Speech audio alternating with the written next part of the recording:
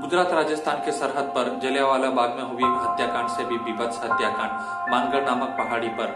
आज से 105 साल पहले 17 नवंबर 1913 में हुआ था। इस हत्याकांड में 1507 जितने आदिवासी बिलों को अंग्रेज़ों ने मार डाले थे। यह हत्याकांड जलियावाला बाग से बहुत बड़ा होने के बावजूद इतिहास में उसकी नोट जितनी करनी चाहिए, उतनी की नहीं गई। आज भी देश के कई लोग इस हत्याकांड के बारे में नहीं जानते। तो चलिए इस बर्बर हत्याकांड के बारे में कुछ जानने का प्रयत्न करते हैं। तो नमस्कार दोस्तों, मैं हूँ निकुंज पाड़वी। स्वागत करता हूँ आपका प्रिमिटिव वर्ल्ड पर।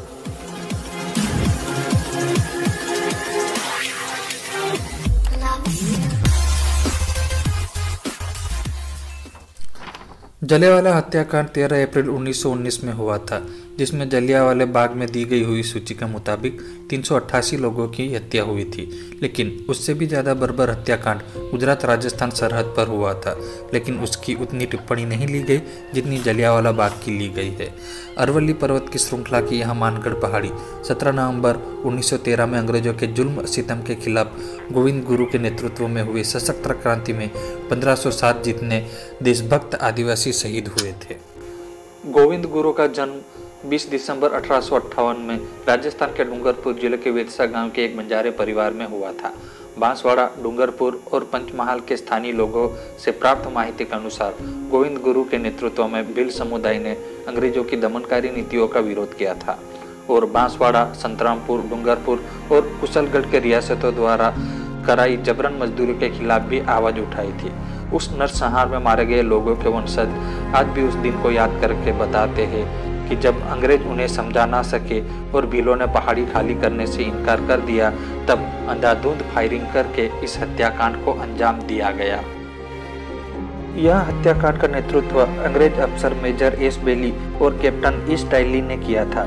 यह हत्याकांड के लिए अंग्रेज़ों की फौज ने खच्चरों पे तोप जैसी बड़ी बड़ी बंदूकें बाँध रखी थी और खच्चरों को गोल गोल दौड़ाते थे, जिससे ज़्यादा से ज़्यादा लोगों को मारा जाए। कई लोग गोली लगने से तो कई लोग बचने के लिए भागते वक्त पहाड़ी से फिसल कर मारे गए थे।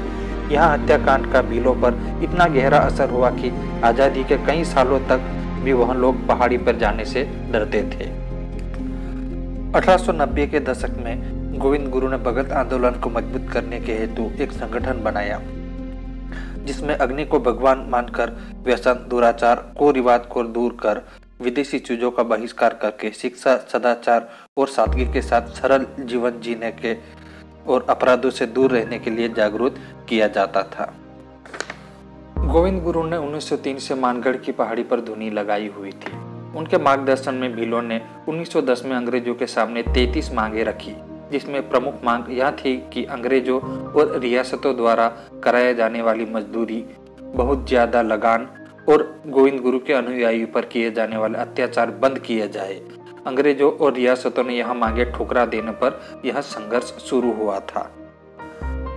यह हत्याकांड के एक महीने पहले हज़ारों बिलों ने मानगढ़ की इस पहाड़ी पर कब्जा कर रखा था और अंग्रेज़ों के खिलाफ लड़ने की सौगंध ली रखी थी। उस वक्त यहाँ भी लोग एक गीत गाते थे, ओ भूर्तिये नहीं मानो रे, नहीं मानो। अर्थात, ओ गौरी चमड़ी वाले हम नहीं झुकेंगे तुम्हारे सामने। ऐसा कहा जाता है कि यहाँ संघर्ष की प्रथम घटना संतरामपुर के पुलिस थाने में हुए हमले में एक पुलिस कर्मचारी के मौत के बाद हुई थी।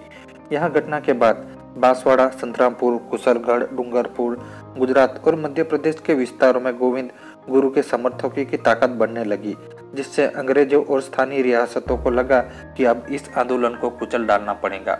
इसलिए बिलो को मानगढ़ की पहाड़ी 15 नवंबर 1913 तक खाली करने का आदेश जारी किया, लेकिन भीलो ने उसे अस्वीकार कर दिया। भीलो द्वारा आदेश ठुकराने से तिल मिलाए अंग्रेज़ अफसर। मेजर एस बिली ने अपने कैप्टन एस टाइली समेत तमाम फौजियों को गोलीबारी करने का आदेश जारी कर दिया। आदेश मिलते ही खून की प्यासे अंग्रेज़ फौज ने अंधाधुंध फायरिंग करनी शुरू कर दी। उन्हें निशान लगाने के लिए कोई एक लक्ष्य नहीं था। वहाँ हज़ारों भीलों सामने खड़े थे, जिन्हें ज़्यादा से ज़्यादा की तादाद में मार गिराना था। और बस वैसा ही हो रहा था। हर पल अनेक लाशें ज़मीन दोस्त हो रही थी। कुछ ही वक्त में मानगढ़ की पहाड़ी खून से लथपथ हो गई।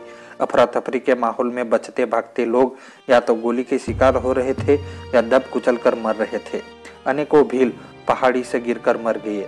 चीखते चिल्लाते इंसान गोली लगने पर खामोशी से ढेर होते चले गए। यहाँ गोलीबारी तब बंद हुई जब एक अंग्रेज़ ने देखा कि एक बालक अपनी मरी हुई माँ से लिपटकर स्तनपान कर रहा था। परंतु गोलीबारी बंद हुई तब तक 1500 से अधिक भीलों की हत्या हो चुकी थी।